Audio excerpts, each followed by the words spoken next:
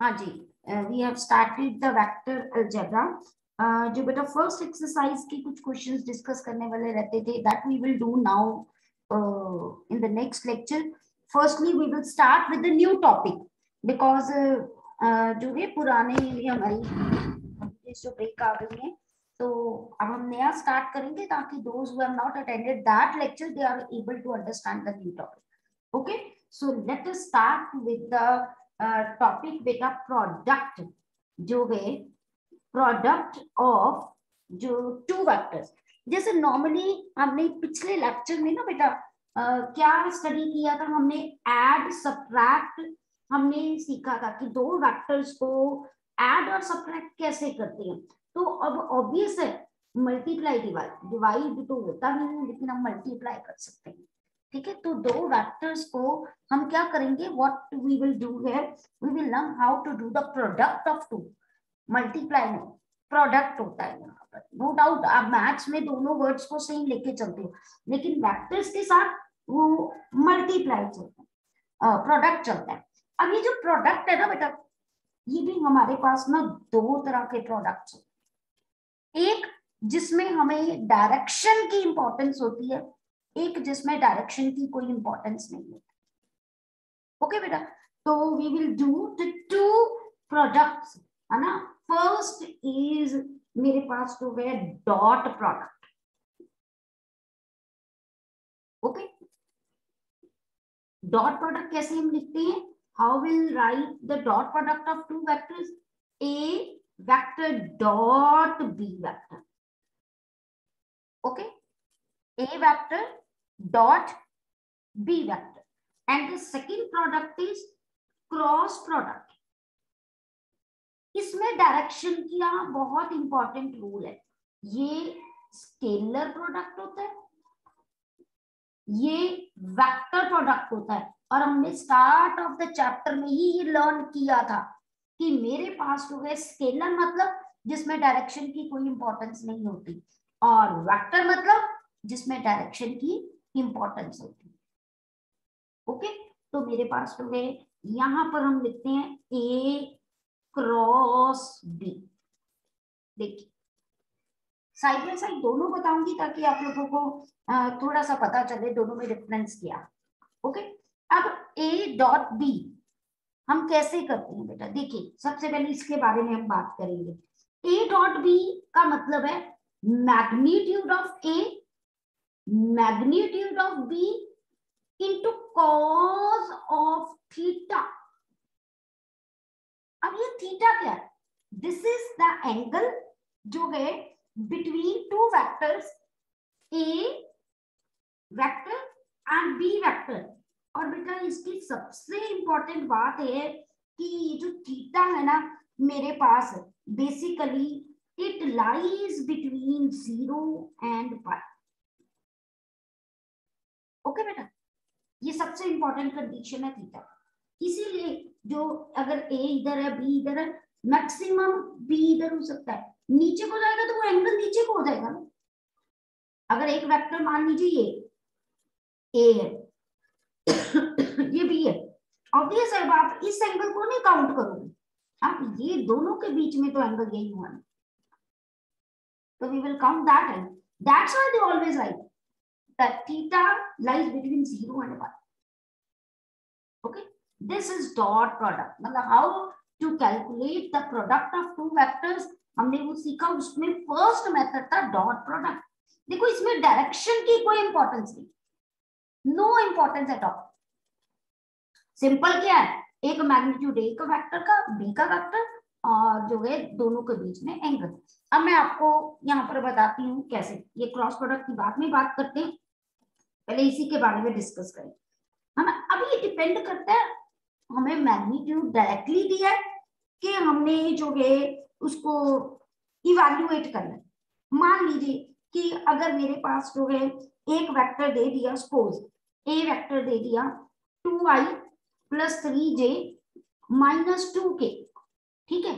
और B vector आपको दे दिया आई माइनस थ्री जे के दिया डजेंट मैटर अब मुझे दे दिया, जो थीटा है दैट इज़ मान लीजिए फाइव बाय थ्री सिक्सटी हो गया, और मुझे कहा गया ए डॉट बी निकालो। तो कैसे करेंगे हम लोग? A dot b how we will calculate firstly I need magnitude of a anyone from you, how to calculate magnitude of a vector? हम ऑलरेडी कर चुके हैं। Just raise your hand.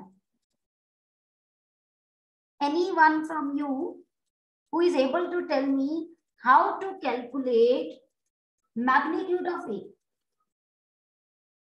हाँ जी। किसी को नहीं पता है? प्रभनूर ओके रसिका।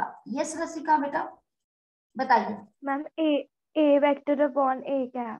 No no no no no बेटा वो तो आ, हमारे पास होता था डायरेक्शन आप आ, चलो ए टैप कह रहे हो ना?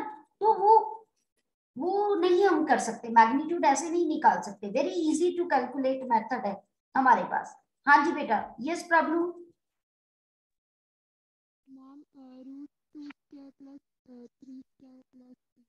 very good two square plus three square plus minus two का स्केयर वो टू का स्केयर ही बनेगा। This is how we calculate magnitude okay Rasika clear बेटा? आपने ऑब्वियस है। रसिका, आपने उससे लिया कि ए वेक्टर को हम magnitude of a into a cap है ना? और इसको नीचे ले ए कैप को नीचे लेके वहाँ से कैलकुलेट किया। ये तो सीधा ही था। हम अगर एक वेक्टर दिया हुआ है तो मैग्नीट्यूड कैसे निकालते हैं? उनके जो है आई कैप के कॉफिशियंट का स्केयर जे कैप के कॉफिशियंट का स्केयर प्लस जो है के कैप के कॉफिशियंट का स्केयर ओके और इसको ऐड करोगे तो रूट सेवनटीन तो दैट मीन हम इसकी जगह पे root seventeen we can write अब मैग्नीट्यूड ऑफ़ बी मेरे पास है, कैसे कैलकुलेट करेंगे? मेरे पास one square plus nine root ten तो we can write root ten now cos of pi by three that means sixty one by two तो इसको हम लिखेंगे रूट वन सेवेंटी और ये वन बाय टू मतलब नीचे answer this is one method अगर कंपोनेंट फॉर्म में वेक्टर्स दिए ये उसके आई जे के के कंपोनेंट्स दिए ना मुझे? तो this is how we can calculate a dot b okay clear बेटा? तो अगर यही सीधा मुझे मैग्नीट्यूड दिया होता, सीधा मुझे वो कहते कि मैग्नीट्यूड ऑफ़ ए जो है, आपको टू दिया है। मैग्नीट्यूड ऑफ़ बी जो है, मान लीजिए आपको थ्री दिया है। और थीटा दिया है फाइव बाय थ्री तो कोई प्रॉब्लम नहीं। वो तो सीधा वैल्यूज़ ही पुट करनी है। Then a dot b that is मेरे पास क्या दे दिया? What is return there then that is two into three cos five by three sixty हो गया ना तो वो one by two two and two cancel answer is three two ways how to calculate dot product depending upon magnitude दिया है या vector दिया okay बेटा? क्लियर ठीक है? अब हम और छोटी छोटी चीज़ें, कुछ प्रॉपर्टीज़ हम डॉट प्रोडक्ट के रिलेटेड स्टडी करेंगे। ठीक है बेटा? तो अब देखिए, जरा डॉट प्रोडक्ट के रिलेटेड अभी मैंने आपको डॉट प्रोडक्ट के बारे में ये बताया कि बेसिकली जो है it's a scalar quantity that means we need not to worry about the direction है ना? हमने यही स्टडी किया। तो अब बेटा, जब मैंने आपको लिखा कि ए डॉट बी जो है वो magnitude of a magnitude of b and cos theta मैंने पता कैसे याद रखा? नॉर्मली आगे जब हम क्रॉस करेंगे ना तो यहाँ साइन थीटा आएगा। तो मैं बच्चों को कहती हूँ डॉट डी से डी और सी कंबाइन होते हैं, इसीलिए डॉट में हमेशा कॉस आता है।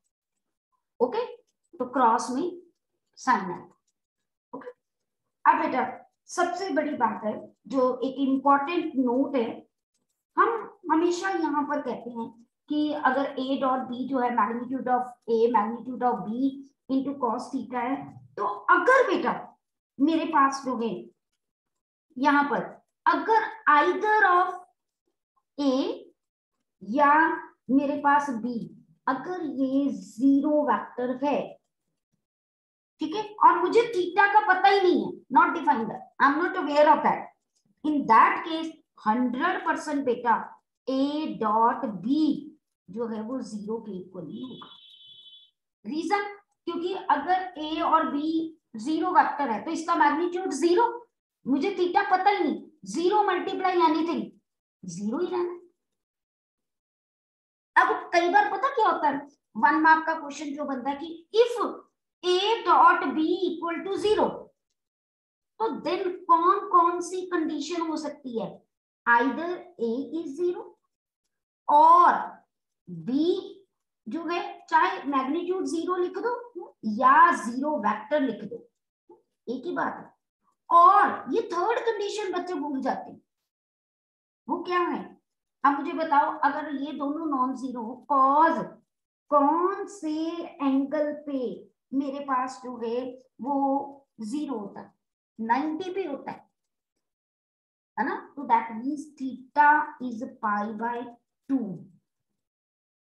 यानी ये तीन कंडीशंस निकलती हैं।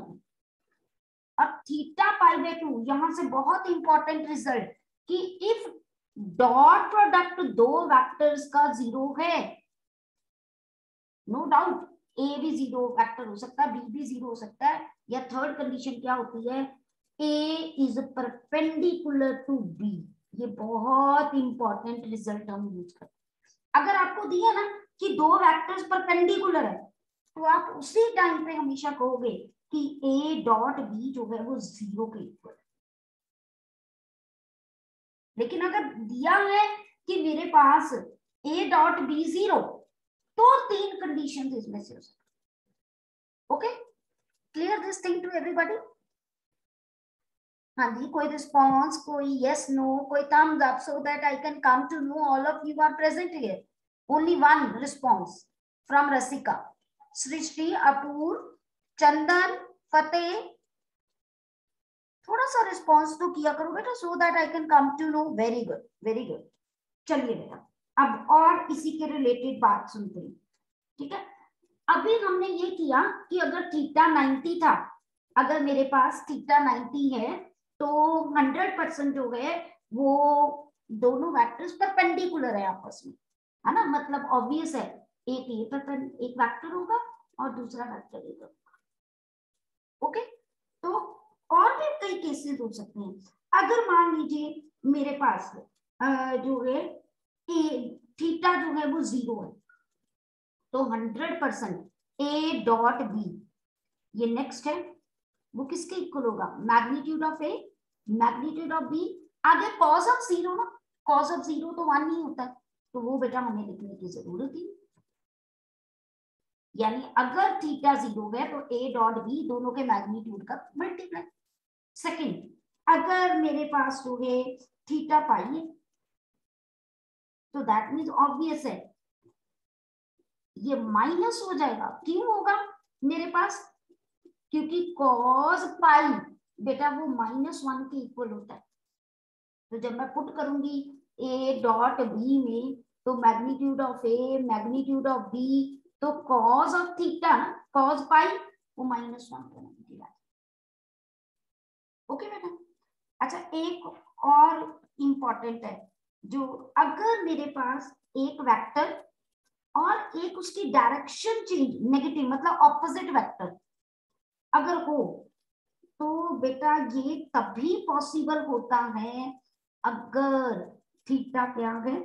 पाई ये नेक्स्ट है। सेम सेम वेक्टर्स हो गए।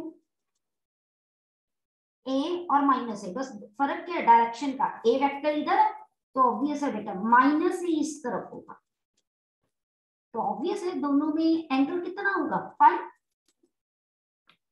ओके ठीक है? अब आपको याद हो आ, हमने कुछ म्यूचुअली परपेंडिकुलर स्टैंडर्ड वेक्टर्स किए थे unit vector can anybody tell me what is the name of that vectors we have done three mutually perpendicular vectors standard mutually perpendicular vector one act along x axis other act along y axis and the third one act along z axis Can anybody tell me the name of that vectors? Three mutually perpendicular unit vectors. हाँ जी किसी को भी याद नहीं है कनुबा कनुबा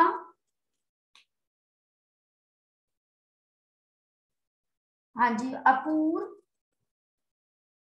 yes or no if you are not aware if i am uh, speaking the name of any child say ma'am i'm not aware of that. At least you have to uh, show that you are present in the class. हाँ जी कनुवा yes ma'am बेटा हमने तीन mutually perpendicular vectors किए थे unit vectors क्या आप उनका मुझे नाम बता सकते हो? एक्स एक्सिस वाई एक्सिस और जेड एक्सिस के अलावा? I cap hmm. किया था कोई? कनुवा नाम सुना यस मैम करा है ना? करा था। हाँ जी।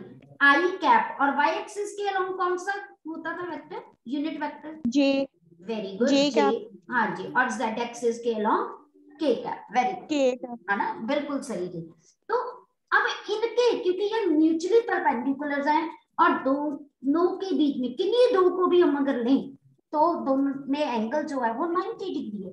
तो इसी के रिलेटेड हमने अगर बेटा आई डॉट आई कन्वा किया तो आप मुझे बता सकते हो इसका आंसर क्या आना चाहिए? अगर मैंने आई डॉट आई किया हाँ जी कनुभा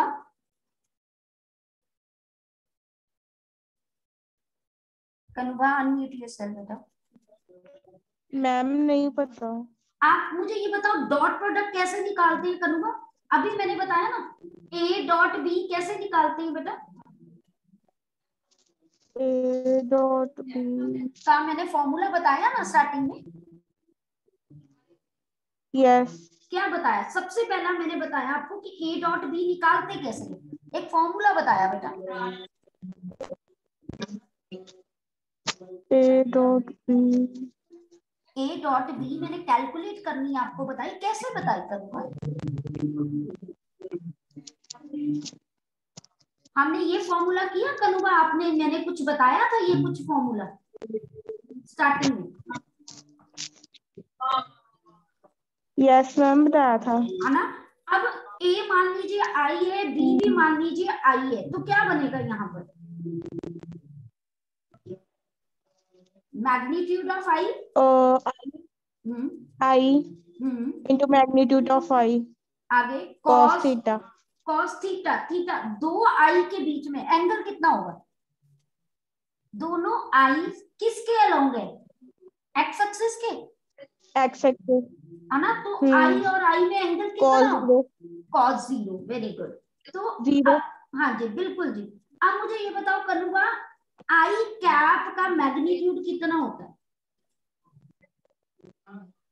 आई कैप का मैग्नीट्यूड?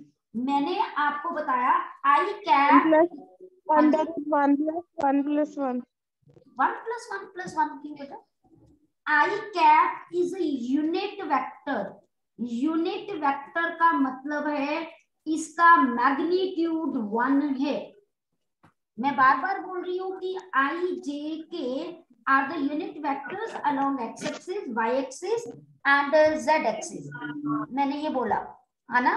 तो अब ऑब्वियस है तो इसका मैग्नीट्यूड क्या होगा? वन वन और कॉस ज़ीरो मेरे पास क्या होता है? वन तो दैट मीन्स यहाँ से मैंने ये लर्न किया, अगर दो यूनिट वेक्टर्स हैं सेम सेम तो इसका डॉट प्रोडक्ट वन होता है। ऐसे जे डॉट जे भी वन होगा ओके के डॉट के भी वन होगा। बट अगर मैं आई डॉट जे लेती हूँ आई डॉट जे का मतलब आई का मैग्नीट्यूड जे का मैग्नीट्यूड कॉस दोनों के बीच में एंगल अब आई और जे के बीच में एंगल कितना है? 90 तो you have to put here 90 है ना?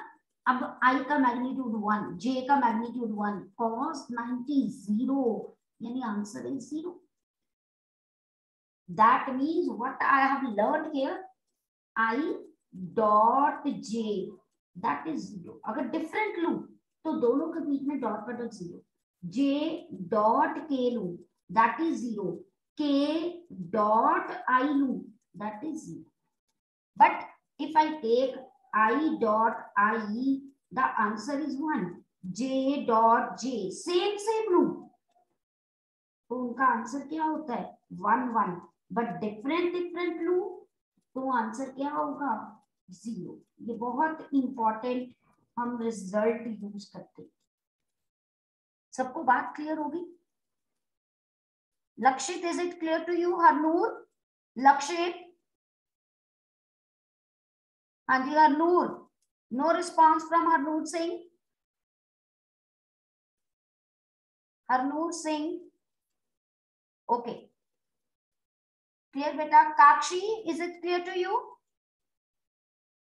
Kakshi Kakshi is it clear to you बेटा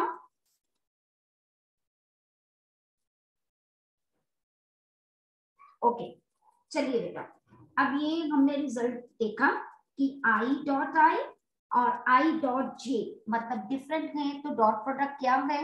अगर सेम है तो डॉट प्रोडक्ट क्या? अब बेटा, जो बार बार हम डॉट प्रोडक्ट कर रहे हैं ना, ये बहुत हेल्पफुल है आगे हमारे लिए। In order to calculate the angle between the two vectors okay अब यहाँ से हम क्या करेंगे? Angle between the two vector अगर मैंने एंगल निकालना है, अगर मुझे कॉज की वैल्यू पता चल रहा है तो मैं थीटा निकाल सकती हूँ बड़े आराम से। बिकॉज़ आपके पास कोई भी, मान लो कॉस थीटा कोई भी any value that it be X तो I can calculate theta that is cos inverse X कर सकती हूँ अगर मुझे दो वेक्टर्स का मैग्नीट्यूड पता है और मुझे दो वेक्टर्स का डॉट प्रोडक्ट पता है तो I can calculate the angle between the two vectors for that for calculating angle between two vectors, I can use the formula. मैं cos theta इधर रहने देती हूँ, इन दोनों को नीचे ले जाती हूँ। तो बेटा cos theta is A dot B over magnitude of a magnitude of b. Okay clear to everyone ये वन मार्क का कट क्वेश्चन है जो हम बिल्कुल आता है। एंगल दो वैक्टर्स के बीच में निकालना। ठीक है? अब बेटा मैंने आपको डॉट प्रोडक्ट इसकी हेल्प से कैलकुलेट करना सिखाया? कि मैग्नीट्यूड निकाल लो दोनों का, और एंगल पता होना चाहिए। अगर आपको एंगल नहीं दिया हुआ, है ना तो डॉट प्रोडक्ट कैसे निकालते वो मैंने अभी तक आपको नहीं बताया। तो वो पहले बताने लगी हो, फिर आगे हम करते लेट अस सी है ना? मान लीजिए मेरे पास एक वेक्टर ए दिया हुआ है A one I A two J A three K vector B vector दिया हुआ है मुझे B one I B two J and B three K अंत सेड कि ए डॉट बी निकाल देखो एंगल की कोई बात नहीं की है तो सिंपल पता क्या है? जैसे हम नॉर्मली ब्रैकेट्स खोलते अगर मैं आप उस क्राइटेरिया में बताऊँ कि इन दोनों को हम प्रोडक्ट करना है तो मैं ए वन को इसके साथ भी खोलूँगी, इसके साथ भी खोलूँगी, इसके साथ भी खोलूँगी। जब मैं इसके साथ खोलूँगी आई डॉट आई हो जाएगा। ये सिंपल कॉफिशियंट मल्टीप्लाई हो जाएँगे। मैं आपको लिख के बताती हूँ एक बार। लेट अस फिर मैं आपको इसका सिंप्लीफाइड फॉर्म ये dot B one I B two J and B three K okay अब देखो, पहली ब्रैकेट ओपन की डॉट है। ये मेरे पास है। तो सिंपल क्या होता है? ए वन पहले इसके साथ जाएगा। तो A one B one I dot I मैंने आपको बताया वन होता है। वो वन लगाने की ज़रूरत नहीं। खत्म। जब मैं ए वन बी टू करूँगी तो बेटा ये I dot J I dot J क्या होता है? ज़ीरो लिखने की ज़रूरत क्या है? Zero multiply something is zero ऐसे ये इसके साथ गया तो ज़ीरो यानी आपको क्या दिमाग में रखना अगर डॉट प्रोडक्ट करना है आई आई वाले कॉफिशियंट मल्टीप्लाई कर दो प्लस जे जे वाले कॉफिशियंट मल्टीप्लाई कर दो प्लस और के के वाले कॉफिशियंट मल्टीप्लाई कर दो प्लस बस. क्योंकि बाकी सब ज़ीरो हो जाते उसका रीजन मैंने आपको पहले ही बता दिया कि आई डॉट आई वन होता है। आई डॉट जे ज़ीरो होता है। आई डॉट के ज़ीरो होता है। जे डॉट के जो है वो ज़ीरो होता है। हमने किया।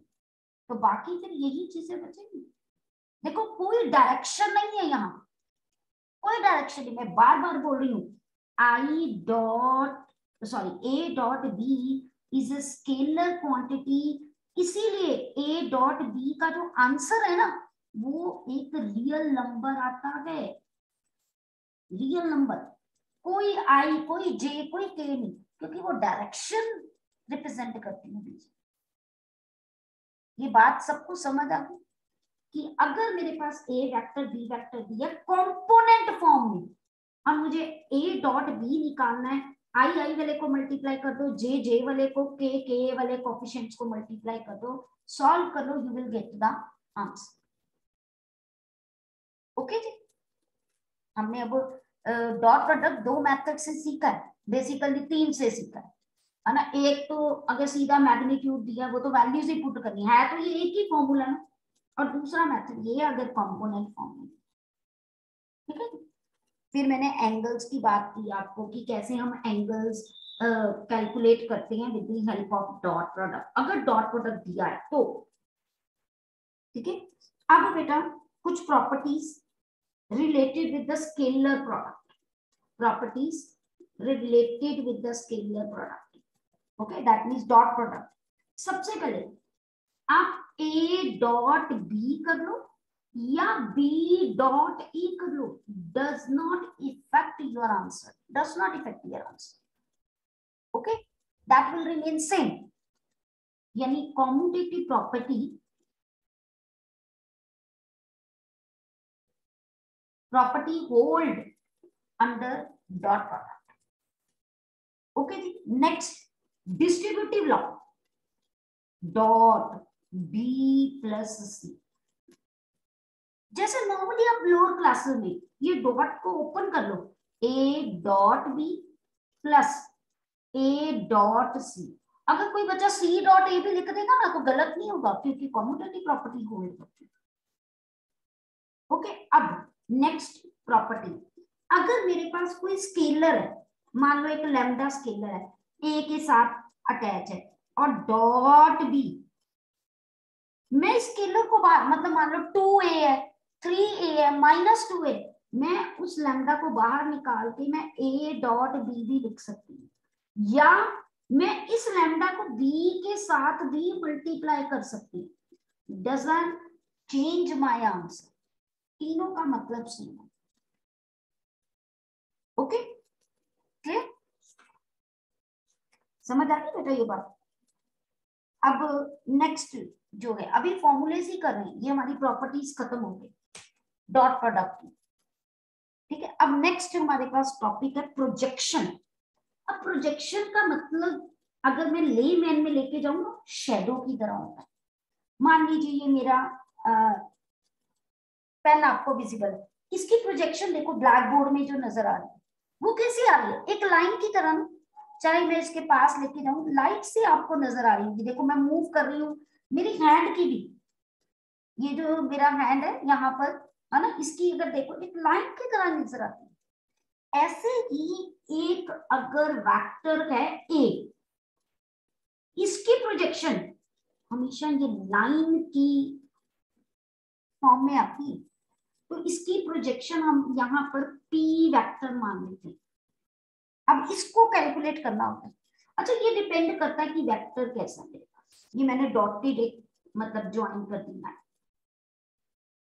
ओके अगर यहाँ पर मेरे पास जो है theta theta is the angle between the projection and the vector यहाँ पर अगर आप देखोगे तो थीटा ज़ीरो और नाइनटी के बीच में। अच्छा अगर मैं वेक्टर को इस तरफ़ ले लू, कोई बात नहीं। ऑब्वियस है वेक्टर इस तरफ़ है तो प्रोजेक्शन इस तरफ़ हो जाएगी ना। इसको छोटा कर देते इस तरफ़ हो जाएगी ये ए वेक्टर ये थीटा हुआ मेरे पास। है ना? प्रोजेक्शन अब ये पॉइंट जैसे मान लीजिए मैंने यहाँ पर ए ले लिया, यहाँ से स्टार्ट होता है वेक्टर को। हम वहीं से लेते हैं ए ठीक है? और ये बी ऊपर और ये सी ठीक है जी? प्रोजेक्शन मतलब जहाँ से वेक्टर स्टार्ट होता है, मैं उसको ए लूँगी। यहाँ प्रोजेक्शन दे दें मेरे पास। ये सी हो गया, ये बी हो गया सपोज़ परपेंडिकुलर तो वेक्टर मेरा जो है पी वेक्टर मैंने ये स्टार्ट कर। दिया यहाँ ऑब्वियस है। ये थीटा 90 से बड़ा हो गया, लेकिन 180 से छोटा। ऐसे किसी भी डायरेक्शन में हो सकता है। ये अगर मान लीजिए वेक्टर मेरा, ये स्टार्ट था, ये, अब एंगल तो ये थीटा हो गया एंगल 180 से बढ़ गया, लेकिन 270 से छोटा। किसी भी डायरेक्शन में हो सकता है, लेकिन प्रोजेक्शन का फॉर्मूला सेम ही रहना। मतलब ये ये वेक्टर जो कि स्ट्रेट लाइन के अलोंग है उसका फॉर्मूला पता क्या होता है? हमने हमेशा एक वेक्टर की प्रोजेक्शन निकालनी होती है दूसरे वेक्टर पे। आप देखो ए की हमने प्रोजेक्शन निकालनी है अलोंग दिस पी वेक्टर मैंने एक जर्नल ले लिया बी वेक्टर तो इसका फॉर्मूला पता क्या होता है? ए डॉट बी ओवर जिस पे प्रोजेक्शन निकालनी है। मैंने I am writing projection of A on B किसी लाइन पे निकालनी है ना, जिसके अलोंग एक वेक्टर है। यहाँ मैंने पी लिखा हुआ, मैंने बी लिख दिया। आप पी लिखोगे तो you can write here P तो बेटा, उसका फॉर्मूला क्या होगा मेरे पास? A dot P over magnitude of P जिस पे निकालू, अगर आप लिखोगे projection of A on B obvious है। A dot B over magnitude of B. आप जैसे मर्ज़ी लिख सकते हैं इसको डजेंट मैटर ठीक है बेटा? बात समझ आई यहाँ तक? क्लियर टू एवरीवन कोई प्रॉब्लम तो नहीं यहाँ तक? ठीक है, कल अब बेटा इसके related we will do the questions ठीक है? जितना आज टॉपिक समझाया, कल उसकी एप्लीकेशंस करेंगे. Be ready with the book and your copy till then goodbye and take care मेरा बेटा। ठीक है?